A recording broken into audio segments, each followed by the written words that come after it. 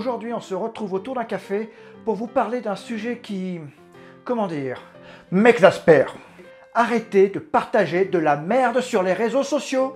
Essayez de développer un peu. Mais y a rien à développer, c'est de la merde, c'est tout. Je sais pas si vous avez remarqué, plus on dit aux gens de faire attention à ne pas se faire manipuler sur les réseaux, et bah plus ils tombent dans le panneau. Prenez une tasse ou votre mug favori. Je vous propose que l'on parle de tout ça autour d'un café. On n'est pas dans un EHPAD là Mais de quoi je me mêle? En même temps, vous n'avez pas entièrement tort. Il est peut-être temps de renouveler un petit peu ce format. Générique.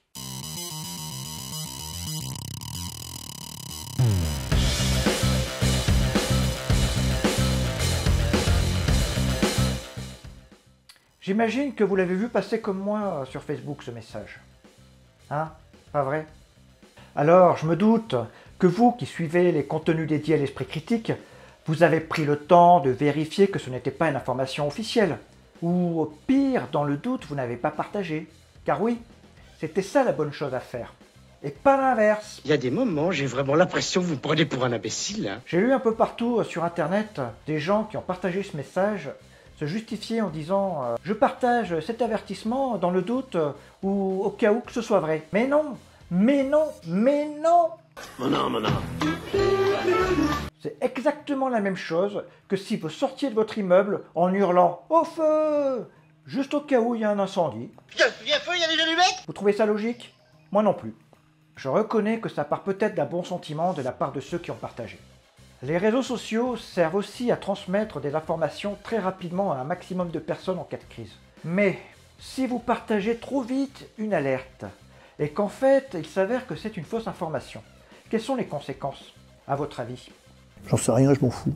les conséquences sont multiples et parfois graves. Imaginez par exemple que quelqu'un diffuse l'image d'une personne en disant Attention, ce monsieur est un pédophile, protégez vos enfants en partageant à tous vos amis. Et qu'en fait, le monsieur en question n'est pas pédophile et n'a rien à se reprocher. Qu'est-ce qui se passe? Il se passe que le fait de partager l'info au cas où, ça vous rend complice d'une campagne de harcèlement, de calomnie, qui peut nuire gravement à la personne concernée. Faut commencer à comprendre où est le souci maintenant. Et encore, on a simplement effleuré la surface. hein. Il peut y avoir par exemple des conséquences financières, si vous partagez une arnaque ou un faux jeu concours par exemple.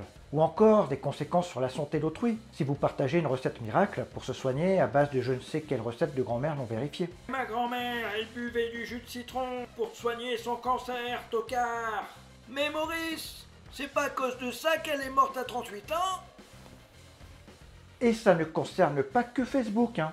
Tous les réseaux sociaux sont concernés. On voit énormément de fausses informations circuler sur X par exemple, anciennement Twitter. Et il y a aussi pas mal de bullshit sur TikTok. On reparlera de tout ça dans une future vidéo. C'est quand même des gros idiots les gens qui partagent sans réfléchir Alors non, non, non, détrompe-toi, loin de là. Parmi tous les gens que j'ai vu partager le message de Meta sur Facebook, j'ai vu tout un tas de personnes qui sont, euh, pour la plupart, des gens intelligents, instruits, avec une bonne situation. Vous savez, moi je crois pas qu'il y ait de bonnes ou de mauvaises situations.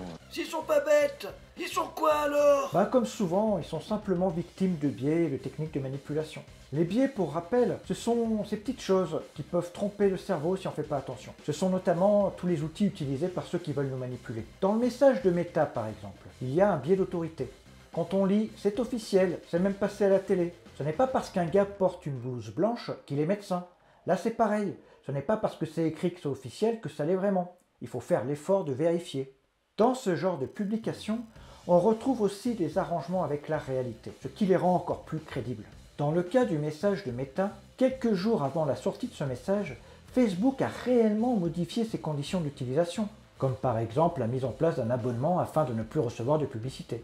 Et le fait de sortir au même moment un faux message qui commence par Étant donné que Facebook a modifié ses conditions d'utilisation, bah ça rend l'arnaque crédible. Bon, je vais vous expliquer pourquoi ça m'agace à ce point. La raison, elle est simple à comprendre en fait. Aujourd'hui, vous savez, je travaille avec beaucoup de gens qui produisent du contenu utile à la société. Des gens qui prennent le temps d'expliquer avec passion la science, la médecine, les maths, les statistiques, la littérature, le droit, ou tout simplement des gens qui, comme moi, partagent des contenus pour vous transmettre les outils de l'esprit critique afin de vous aider justement à ne plus vous faire avoir par des manipulations diverses et variées.